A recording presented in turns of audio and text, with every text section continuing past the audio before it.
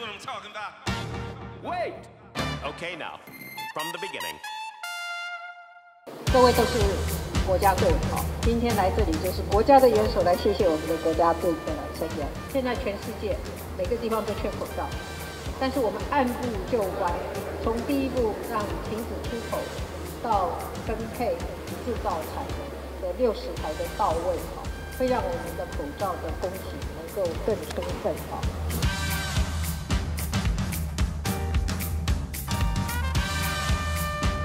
这一次案里面交给经济部六十台口罩机的任务，在今天要完成交机。这六十台过去是要做半当啦，六个月啦。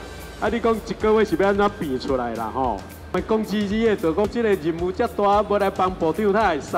三天的假日里面也是一样，我逐日拢来这酒啦，酒到暗时啊十点外啦。我爱上班啊，我派副股票，逐日都在酒，哦，每天都到十点多。感谢在座诸位，我们公积机业界的老板，工研院轻工中心，还有 PMC 赖总经理哈。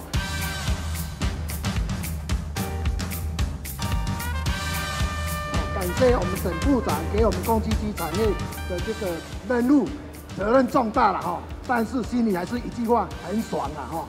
第一时间我赖给部长哈，啊，我们原名利市长也有跟部长这边联络。第一时间他就答应我们来协助他，最主要部长在平时也对我们产业非常的这个协助，这个叫做哈政府与企业有接地气啊。我们来这边做的每个人，虽然身体已经很累，然后腰也很酸，但是每个人做的都很开心，好像上瘾了一样。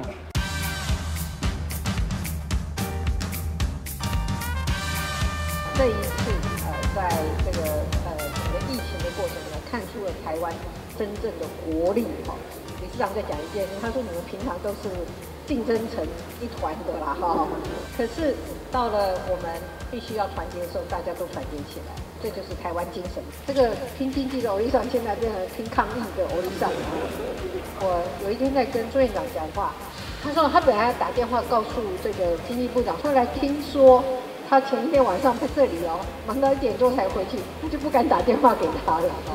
部长是我看来有史以来哦最受到产业界哦支持的。其实做总统的、做行政院长都觉得这个部长真好。我们每一次开会碰到困难的时候呢，部长都会不急不徐的说：“哦，让我来想想办法。”然后他会回来告诉你说他可以解决这件事情。虽然那只有几句话了，我知道那又是很多很多人是没有办法睡觉，要持续的工作的一个开始。